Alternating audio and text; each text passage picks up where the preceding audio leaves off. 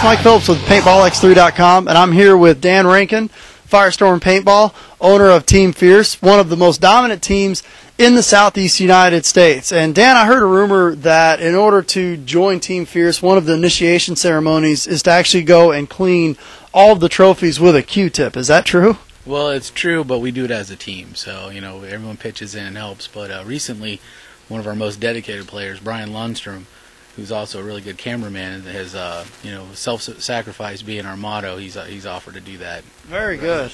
Very good. You give him the brass polish and everything, and He's good at polishing. and it, I heard it takes him at least two weeks to get through them all. Is that true? That's yeah. He's he's he's very meticulous and uh, and it's very time consuming as you can see. Very well. He does a great job.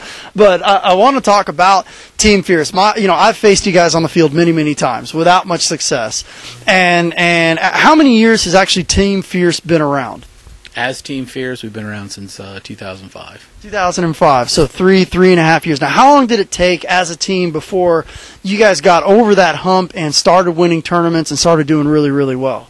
Well, fortunately for us, we were able to pick up some players with experience. So most of those players had already been to the point where they'd been over the hump. They had had some mild success um, on a local basis, and so we picked a lot of the you know some talented players up from uh, Team Aftermath out of Fort Myers. Uh, they were based out of uh, Extreme Rage.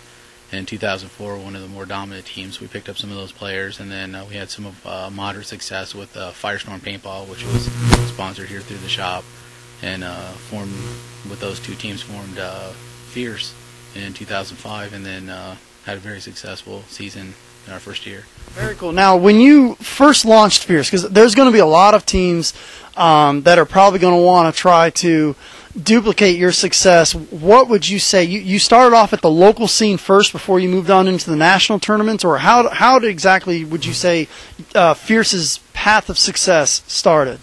Well, I think uh, for every team, you know, the recipe for success is basically just getting the guys together. You have talent, you have a real strong work e- ethic, uh, consistency. You know, um, I think for most teams it's going to be the same. If you look at any successful team, the recipe for success or their formula for success is going to be, re- you know, for the most part the same, and that's pretty much what we did. We, uh, you know, took a lot of the players with, with talent and had them practice, you know, together, some organized practices, uh, worked on uh, the basics and fundamentals on a local level, and then as it, as we felt confident with our uh, ability as a team, then we branched out into the national scene.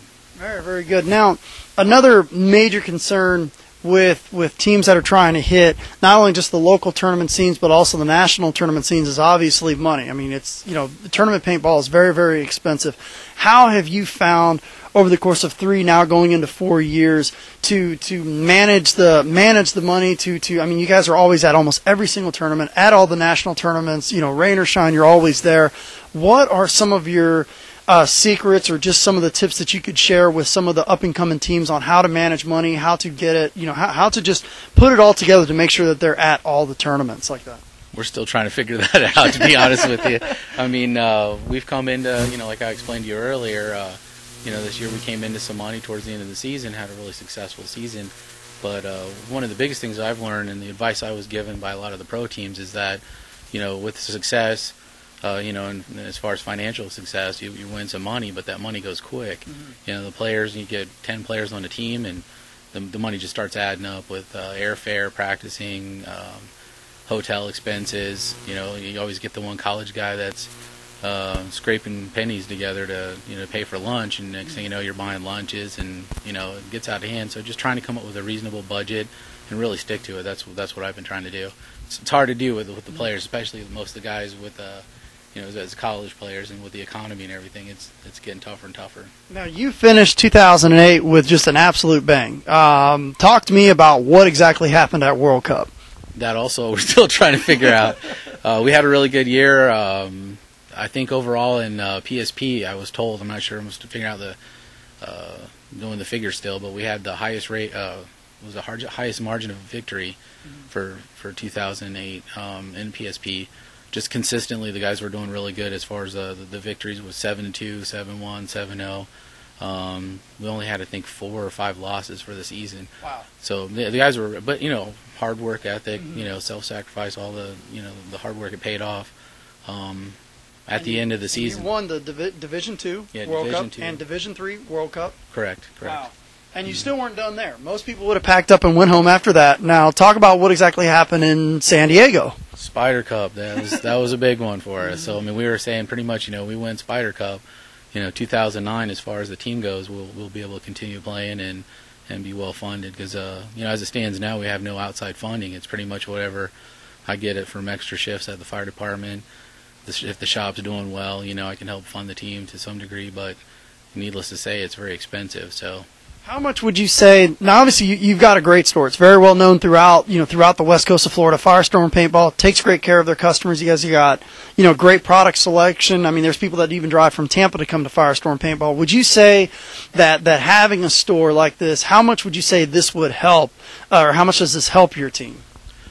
Um, in the sense of whatever sponsorship deals, especially with the economy, again, that's a big thing you'll hear throughout the season. I'm sure with uh, in regards to the sport, is everyone's going to throw that in every conversation. Uh, the economy. Um, right now, the sponsorships are really based on the numbers that are the being generated by the the sponsoring team's uh, home field or store. So you know, basically, the more the more I do as a store in the field, the better sponsorships uh, our team will be you know supplied with. Um, And that's a pretty and that's a pretty big shift in mentality from from what a lot of people you know pre maybe 2005 2006 it was all based on winnings you know but now obviously with with people cutting back their their sponsorship money now they're looking more you know how much you know where you're playing out of your local area what kind of sales are we generating from that from that market? That's the thing with a lot of the players now, as we talked about earlier, is a preconceived notion that you get to a point where you're getting consistent um, podium finishes in an event that everything should be paid for. Well, the sponsorship, the sponsors look at that differently. They're it's it's it's not the same as it was two years ago. It's pretty much based on the business a store's doing or a field's doing with that sponsor. Um, as far as in regards to uh, the store as a resource for the, the the team, I mean, you know, I've got inventory. So if you know one of the guys needs something, you, you saw earlier, there's guys walking around on shopping sprees today. So uh, you know it helps that hey, we need something, I have it. It's not like I have to wait, you know, for a couple of days or anything like that. Um, but they do; they're paying their own way. You know, the guys they they work hard and work af- extra shifts or whatever they can do to to help you know pay for their their own portion as our fair share program. Very good. Now, another, if you, if you could share maybe some secrets on um, recruiting. A lot of teams make a mistake of recruiting the wrong players that just don't fit with their team. That can cause a lot of friction within the team. Teams end up falling apart because of it. Um, you've recruited great players. They got great ethic on the field. They're they're they're very honest players. They they they come after you. They're just you. You've always had one of of, of just the best eye for talent. If there's maybe a secret that you could share in terms of uh, maybe a team, how do you choose talent? What are some of the things that you look for from players that are interested in joining Fierce? That's a, that's a good question. I think a lot of times a, a coach's ability to pick up the right player for their team is, is needless to say, key. Um, a lot of guys will pick up a player just based on, hey, that's a really talented player. But maybe that player's work ethic or attitude in general, it won't be copacetic with you know the, the guys that they have at the time. You know, uh, the guys we have, they have a really strong work ethic. Um, some of them are driving two, three hours uh, to practice, you know, for two day practice. Uh, you know, some of the guys are practicing three times a week. You know, these guys are wanting to do whatever it takes to be the best team that they can be, and they all get along. And that to me is key. If I have a guy that's a really super talented player, but he's not getting along with my guys, and he's problematic, or you know, there's some of the guys that bring a lot of drama to the team. We don't deal with that. You know, we're we're calm and collect in the pits.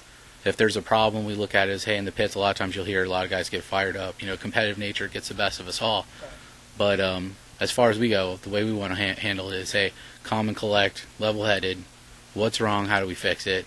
And then take it from there. And I think that that contributes to our success. So. Very good. Now, now, obviously, we talked about recruiting. Now, what are some? of You guys, like I said, I've faced you guys many, many times on the field without much success. I always look forward to play against you guys, but I, my teams have very rarely beaten you guys in practice or even in tournaments. What are some tips that you could share, maybe with uh, you know some of the teams that are you know maybe rookie, you know Division three, Division two level uh, that you that you can share with them to try to help them just overcome sometimes that that they just need that extra push. What would probably see if you could sum up one secret of your success? Uh, what would you say for Team Fierce has really been just one, that one thing you guys can always fall back to that that guarantees you that podium that that very consistent podium finish? I think really the, the answer to that question would be the fundamentals and consistency in practice. There are a lot of teams when they show up, um, you get into you get out of practice what you put into it. And that's what one of the things we talk to the guys about. If your guys are doing conditioning and someone's over there doing um, a half-ass job, if I can say that, a half-ass job. He's, if he's putting in 50%, that's all he's going to get out. But if you got guys that are going over there and really going, they're not just going through the motions. They're going to uh, increase their ability or work on their skills. Um, we use uh, the the three fundamentals of paintball: move, shoot, talk. We got to work on all those. Move, move faster, uh, more precisely, uh, shoot more accurately, and talk communication is key in the sport. It's a team sport, it's not just an individual. And a lot of the guys now, especially with X ball, they've forgotten that um, basic fundamental of paintball as far as just talking. I got a guy over here who's like 10 feet away. I have no idea what's going on. I can't make out heads or tails of what's going on from the sideline. It's like a bunch of squawking birds most of the time at best. Talk to the guy next to you, you know. Right. So working on the, the fundamentals, that's really what we're focusing on this season. That's what we focused, focused on last season. And um, consistency, like I said, a lot of the guys will practice – have a really good practice, but then maybe it's like two or three months of just goofing around, playing a couple of points, and then talking about being ag or whatever it is now. You know, they're like, hey, this is the coolest gun I've ever shot, and you know, I mean, you figure out what it is you want. I mean, everyone can has to look at the sport of, you know, do I want to be a winning team or do I want to just go out and goof around and have fun? You know, right. we want to win. Right. You know, and I know the other guy on the other end of the field when we're playing, they want to win do we want to win more than they do? That's the question. And right. we say, uh, you know, that's the, you know, work work as hard as we do because that's you know, we don't want we don't want to go out there and fall short. Right. And I say to the guys, I'm like, there's a lot of times we've left tournaments saying, what if? Mm-hmm. You know, you have feel like you have the your heart ripped out of your chest. You know, right. when you leave an event where you're like, I, only if we had worked on this a little bit stronger or maybe we had done this, you know, I'm like that what if question is in any sport, I'm sure. You know, we got a Super Bowl coming up this weekend someone's going to be going home saying, "What if?" We don't right. want to. We when it when game game time comes on Sunday, we don't want to be that team saying, "What if?" Right. Very good. Now, obviously, equipment makes a, a major part into it. You know, you obviously got to have consistent, you know, high performing equipment when you're competing at that tournament level. Now, the Fierce was lucky enough to pick up who for the 2009 season. We're, we're proud to be sponsored by Dye. Make the, the best, in my in my opinion, in the opinion of most, some of the best uh, products in the in the industry. Very good. Very good. Accurate. Best shooting gun I've ever shot, actually, DM9. And then that's on, off the record, whatever. You won't hear me say anything else. It's a good shooting gun. So. Very good, very good. Well, once again, Daniel, I really appreciate you talking to uh, Paintball X3. And uh, so, if you guys see Daniel Rankin or Team Fierce at any of the events, stop by and say hi. And uh, once again, I really appreciate your time.